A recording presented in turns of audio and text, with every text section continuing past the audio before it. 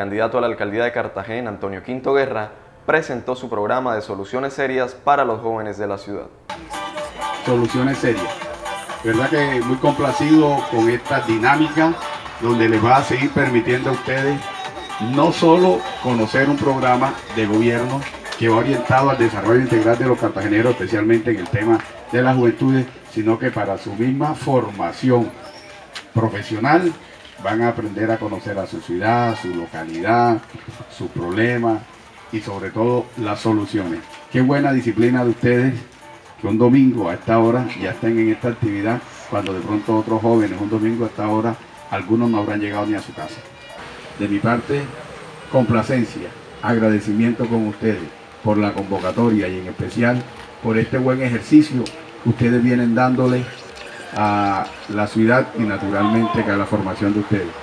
Juventud. El también candidato a la alcaldía de Cartagena, Manuel Vicente Duque, convocó a las mujeres para luchar en contra de la violencia de género.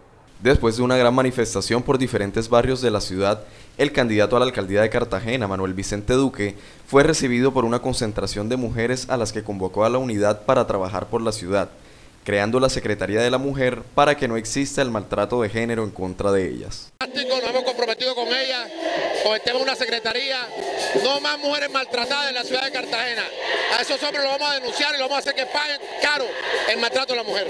¿Esperaba este recibimiento de tantas mujeres apoyando a Manolo? Estamos fuertes, cada día estamos más fuertes con las mujeres y hay un compromiso grande con ellas porque el gobierno de Manolo Duque van a tener un protagonismo enorme.